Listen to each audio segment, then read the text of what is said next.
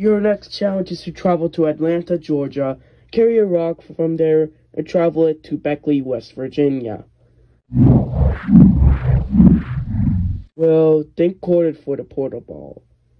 Anyways, go. Wait, we haven't picked the teams yet. Oh yeah, I forgot about that. Well, quartered. You could choose first since you won. Were the first person to travel into the real world. Pick at least three members. I think I'll choose Morning Group, Cold Major, and Laziness Major. Your next rotation wave, the Winnie Winnie. Uh, I guess Crazy Santa and Easy. Alright, now you can all go. Portal Ball, take us to Atlanta, Georgia.